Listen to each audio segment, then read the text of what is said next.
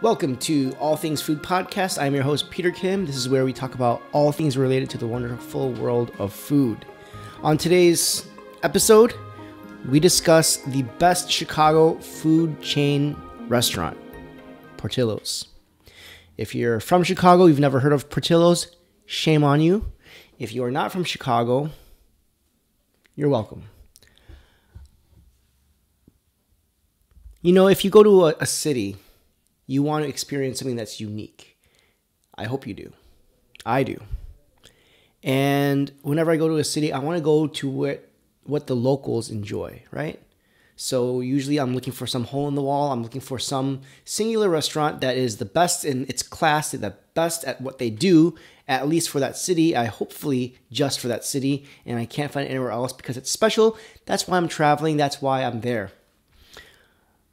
However, there are some chain restaurants that are so iconic, so unique that even though there are multiple locations, it's still worth going to if you haven't gone to one. For example, White Castle. White Castle is all over the nation, but you know what? It's awesome. It's delicious. If you're in a certain state of mind, um, they could be like your salvation for that night, right? Uh, nothing like a crave case of sliders, you know, some cheap fries, and you're pretty much set for the night. Uh, another example, Waffle House. Waffle House is also all over America. Um, and if you've never been to one, it's worth visiting just for its iconic status, if nothing else. I mean, they do cheap breakfast food. There it is. And that, those are national chains that are worth going to. That, that's, that's, that's my point. Let's go local locally, again, there are restaurants that are worth checking out, even though you can find them in a bunch of places within that area. And Portillo's is one of them. Uh, Portillo's is kind of a Chicago institution um, that serves all sorts of sandwiches, and I'll get to the items that you should that are well, worthy of note there. And it's important because even though there are multiple chains, there there are multiple chains for a reason. Is because it's delicious and it's popular if people were to visit Chicago, regardless of restaurant chain or not, I'm going to recommend Portillo's. It's that good, and I think it's that symbolic of Chicago food. And we kind of see this disappearing. We see localized restaurant chains kind of disappearing. For example, uh, Shake Shack. Shake Shack is awesome. It's uh, it's, it's it's good. It's not awesome. It's it's delicious but just really expensive for, for my tastes. I, I, you know, they have they have locations all over the world now. Um, before, for many years, they were just in New York where they started, and then they just exploded, right? And it's kind of like the East Coast competitor to In-N-Out. In and Out is one of those also local chains that are worth going to, even though there are many locations in, you know, California and the Southwest.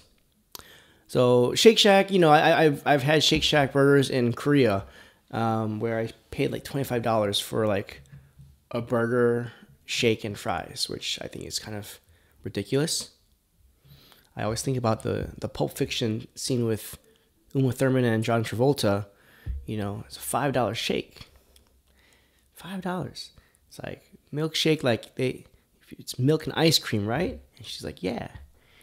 And she's like, is it really worth five dollars? And at the end, he's like, I don't know if it's worth five dollars, but that's a good freaking shake.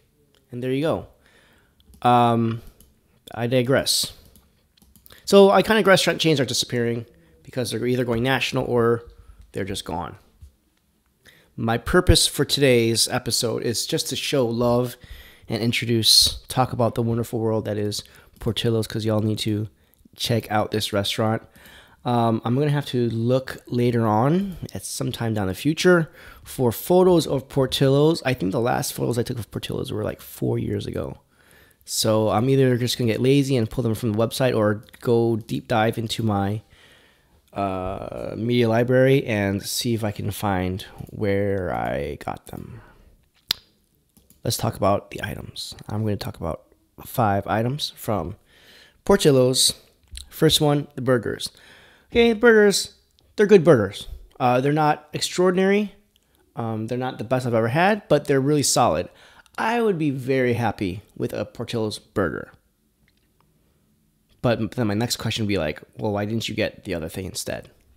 Right? Coming up. But the burgers, I mean, um, their buns can be a little too like bready, you know, too thick and too they have too much substance. But the burger patty, whenever I mooch off of my wife or other people, you know, grab a little piece. It's a good burger. It's charred. It's got all the trimmings. You know, kind of like a, a deluxe Whopper kind of deal, right? It's a, it's a good solid burger. If there's nothing to be ashamed about, it's delicious. If someone were to get a burger from Portillo's, I'd be like, you know what, that's a good choice. If you don't want the other thing, you sure you don't want the other thing? If you don't want the other thing, then you know what, the burger is a good, fine choice. They have good burgers. Talk about the fries. Fries, you know, they're they're good fries. They're they're crinkle cut. Um, you know, the the boxy shape. It goes like this up the ladder. Uh, they're good good fries, good onion rings. Um, yeah, it's it's solid. Nothing remarkable, but nothing bad about it at all. Garden salad. Let's talk about their garden salad. They have a bunch of different salads. In the past, what they would do is they would have two lines one line for the fried stuff and the meats and all that, and then they would have a salad line, and you'd have to go. If you want to get both of them, you'd have to order them separately. But since I came back to Chicago, I realized that they had combined them into one line. Good move, Portillo's. Uh, they have like the garbage salad, which is like kind of everything that you can think of, and it's thrown into one thing and drenched and, and just tossed and, and it's kind of a, it's kind of gross, but people love it. If the garbage salad or the chopped salad, which is like a lighter version of the garbage salad, if that's your thing, go for it. And they're huge. These are huge portions. They do not skimp on that. Lovely. Uh, but their garden salad though is actually a really like legit salad. Uh, I used to be a personal trainer back in the day, um, and even when I was on top of my dieting, on you know, not dieting in terms of like dieting to lose weight, but just like keeping in control of what I ate, even back then, I would get the garden salad because it's just a lovely medley of vegetables and sal- you know of, of I'm not a big salad guy, but I would still get the garden salad with their with their house dressing. And here's a here's a trick. Now they they do come in these containers, you know, the salad containers that are lovely for pouring on the dressing and shaking them up so that everything's coated. That's a great strategy, and you should totally go for it. But you can also, and this is a, you know again a trick I pulled from my training days, um, dip your fork into the dressing container, and then take a stab at a bunch of lettuce, and then eat it that way. What you'll find is that you'll still get the taste of the dressing, but you'll end up eating way less dressing, save on the calories, but still get the taste and the comfort and the utility of the salad dressing. So, burgers, fries, onion rings, uh, garbage salad, chopped salad, garden salad. All right, let's let's let's get to the real deal here. The real reason. Oh, and, and one more thing. Uh, I'm gonna I was gonna talk about this last, but let's save the best for last. They do have this ridiculous thing called the chocolate cake shake, and it is exactly what you would imagine. It's a chocolate cake made into a shake chocolate thick cake. Their chocolate cake by itself, by the way, is delicious. That's another bonus point. Get the chocolate cake. Don't get the chocolate cake shake because it is as ridiculous as you might imagine. And it, it to me, I, I love chocolate cake. I love chocolate. I love chocolate cake. I love chocolate cake with, especially with a big tall glass of ice cold milk. That is one of the greatest combinations. Uh, simple food home combinations that are possible. The other another one is you know a warm apple pie and vanilla ice cream, of course. But the chocolate cake shake is a monstrosity. It is uh, an offense to any discerning appetite whatsoever. But people love it. People get it. Um, and it's me, it's just ridiculous. I heard they put mayonnaise in it. I don't know. Is that true? Portillo's people, please feel free to reach out and and, and enlighten me on, on, on the truth of this. Do they put mayonnaise in their chocolate cake shake or their chocolate cake in the batter, in the frosting, or what? Why? What? Is this normal to put mayonnaise in a milkshake or a chocolate cake or a chocolate cake milkshake? I don't know. I can Google it, but not. I'm not gonna. I'm not gonna. I'm, I'm afraid of the truth. The chocolate cake shake. All that being said, the real reason why I would strongly recommend, without irony, without, without, um, with no hesitation, without um, reservation, the Italian beef sandwich at Portillo's. Thank you very much, and you're welcome. Get the Italian beef. Get the Italian beef. Get the Italian beef.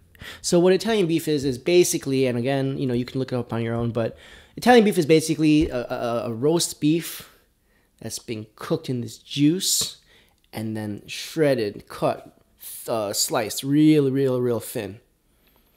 Um, good Italian beef, even though it's thin, it's gonna be juicy. How they do it, I have no idea. I don't think they just sit it in the juice. I think it's separate. I have I have no idea. Italian beef people, please enlighten me. So what you typically typically do is you get the thin roast beef, or we'll just call it Italian beef because I'm not completely sure what exactly it is. It's beef.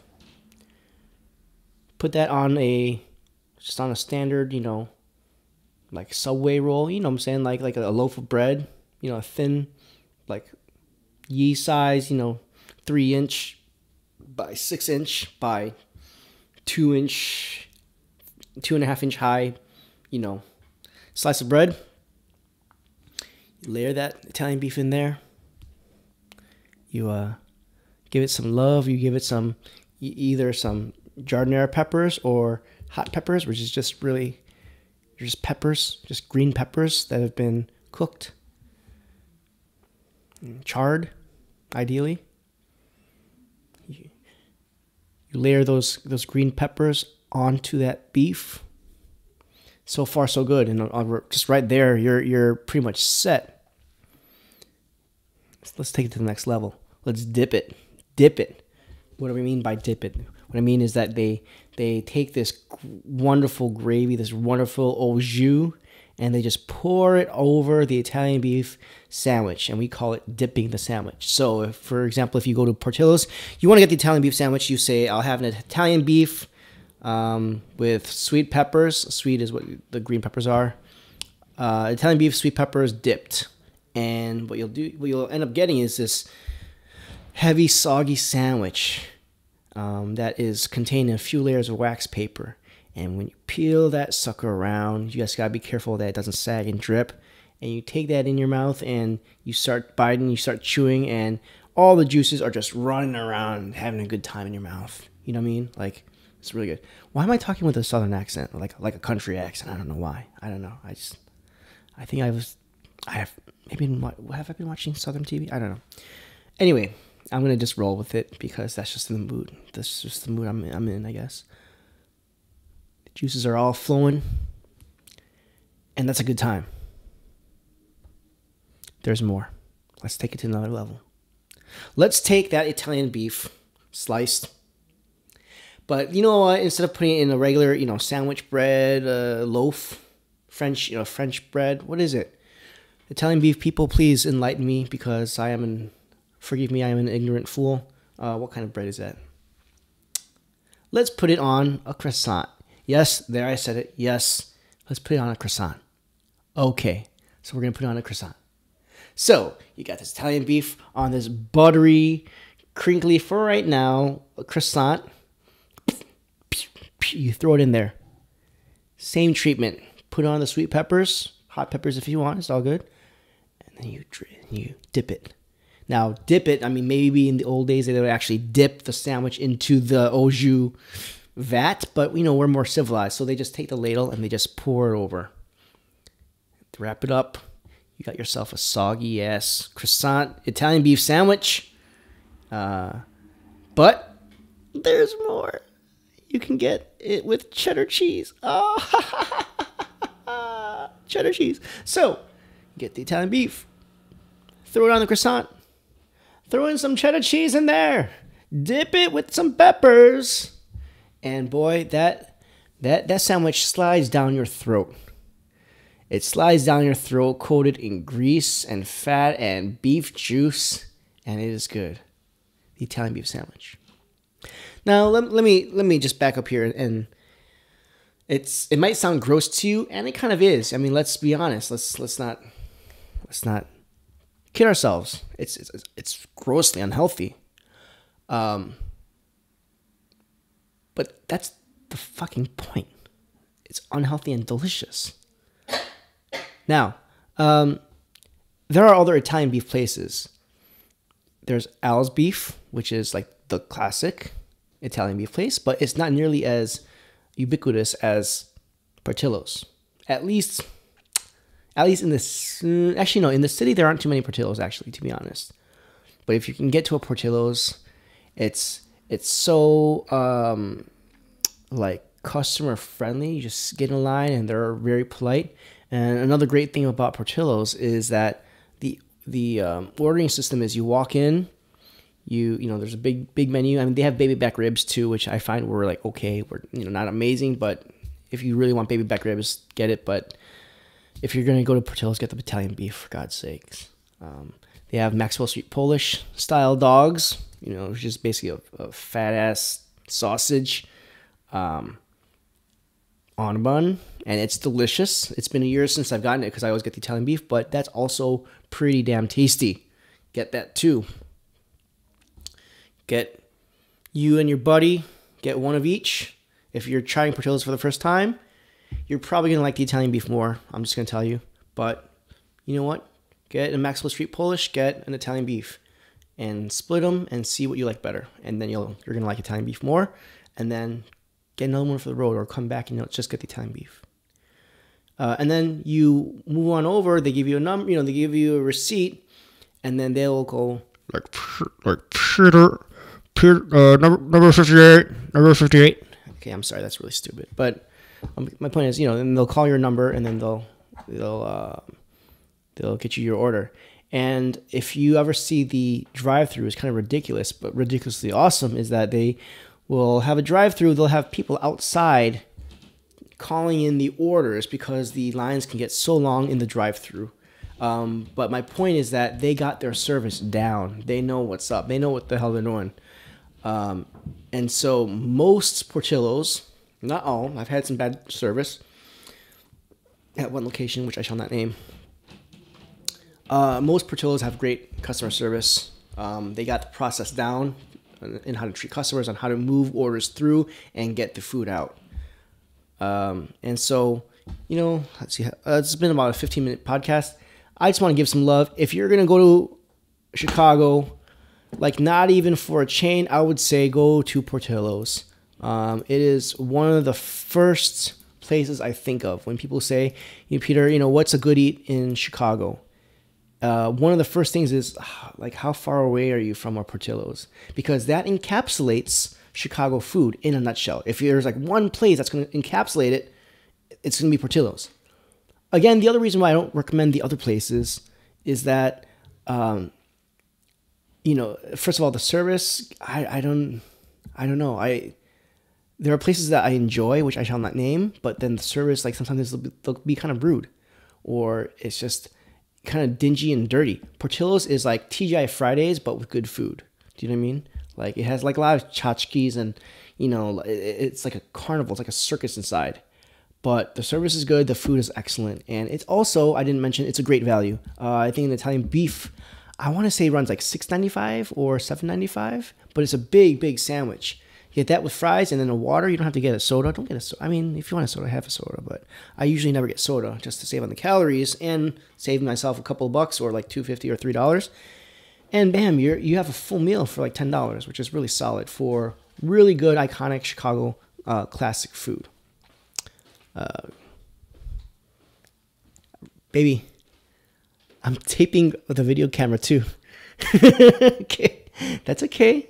Okay, okay, that's all right.